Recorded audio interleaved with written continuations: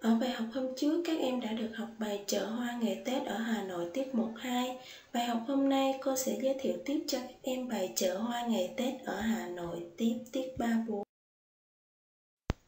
Các em đã được luyện đọc và tìm hiểu nội dung bài chợ hoa ngày Tết ở Hà Nội.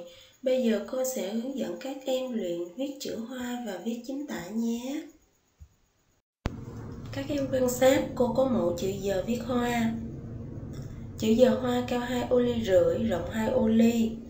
Cách viết đặt bút dưới đường kẻ ngang số 4, trước đường kẻ dọc số 3, viết một nét móc ngược trái sát đường kẻ dọc số 2 và hơi lượng vòng khi bắt đầu đến đường kẻ ngang số 1. Kết hợp viết nét thắt tiếp xúc với đường kẻ ngang số 1. Không nhấc bút viết liền mạch nét cong phải, liền mạch với nét cong trái và dùng bút tại điểm giao nhau giữa đường kẻ ngang số 3 và đường kẻ dọc số 2.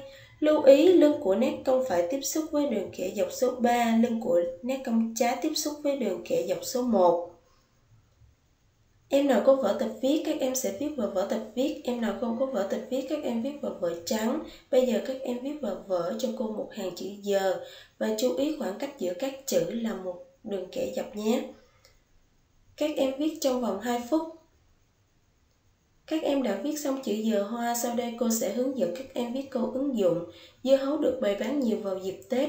Với câu này, cô muốn rèn cho các em kỹ năng viết đúng độ cao. Viết chữ hoa. Đầu câu, tên riêng và cuối câu có dấu chấm. Lưu ý khoảng cách giữa các chữ là một con chữ O. Các em viết câu này trong vòng 3 phút nhé. Các em vừa viết xong chữ giờ hoa và câu ứng dụng, sau đây cô sẽ hướng dẫn tiếp cho các em viết chính tả, nhìn viết. Các em sẽ viết hai câu ứng dụng trong bài chợ hoa ngày Tết ở Hà Nội. Các em sẽ chú ý lắng nghe cô đọc nhé. Chợ hoa ngày Tết ở Hà Nội, chợ nhộn nhịp hơn khi có rất nhiều xe chở hoa ra vào, người bán, người mua, người xem hoa tấp nập đông vui. Các em đọc thầm trước và khi viết các em chú ý quan sát và nhẩm thật kỹ chữ mình cần viết thì các em mới viết đúng được nhé. Các em đã đọc xong, bây giờ các em sẽ trình bày bài theo mẫu. Các em sẽ viết bài trong vòng 15 phút. Bây giờ các em sẽ viết bài vào vở nhé.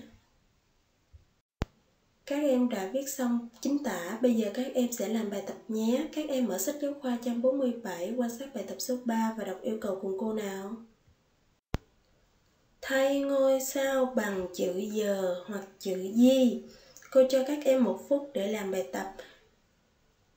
Bây giờ chúng ta cùng nhau sửa bài nào. Giỏ quà là trong đó có chứa các sản phẩm bánh kẹo mứt hoặc các sản phẩm tùy thích với ý nghĩa và mục đích khác nhau. Giỏ quà chúng ta có thể trưng bày hoặc tặng người khác. Hoa hướng dương Hoa hướng dương tượng trưng cho sự đáng yêu, trung thành và trường thọ, vì vậy các em không được ngắt hoa hoặc phá hoa nhé.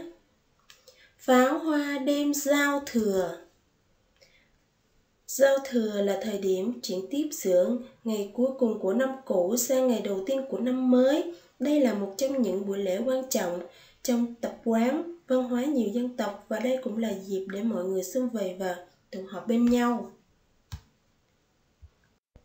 Các em cùng đọc yêu cầu của bài tập số 4 với cô nhé. Thay hình chiếc lá bằng dấu hỏi hoặc dấu ngã. Mâm ngũ quả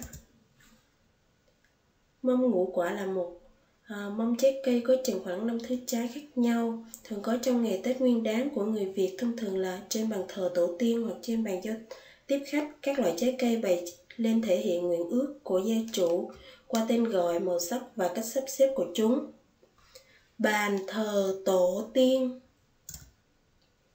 Bàn thờ tổ tiên là tục lệ thờ cúng những người đã khuất, đặc biệt là tổ tiên của nhiều dân tộc và đây cũng là nơi tôn nghiêm nên các em không được để đồ chơi hoặc các đồ vật của mình lên trên bàn thờ nhé.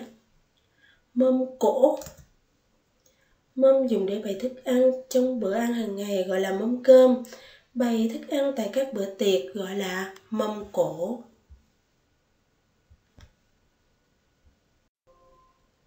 Các em đã làm xong bài tập chính tả để giúp các em luyện nói cho chảy hơn. Bây giờ cô và các em sẽ vào phần luyện nói nhé. Hãy cùng các bạn trong nhóm đóng vai người thân trong gia đình để chúc thích nhau. Khi đóng vai, các em nhớ dùng các từ xưng hô với người thân cho phù hợp nhé. Từ cháu khi xưng hô với ông bà, cô, chú.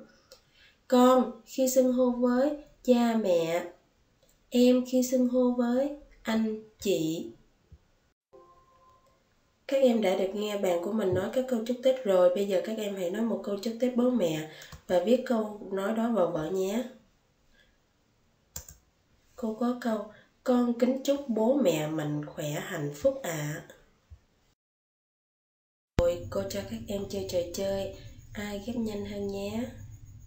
Các em sẽ có một câu đố cắt gời, các em sẽ ghép các mảnh lại để tạo thành một câu đối và viết câu đó vào vở nhé.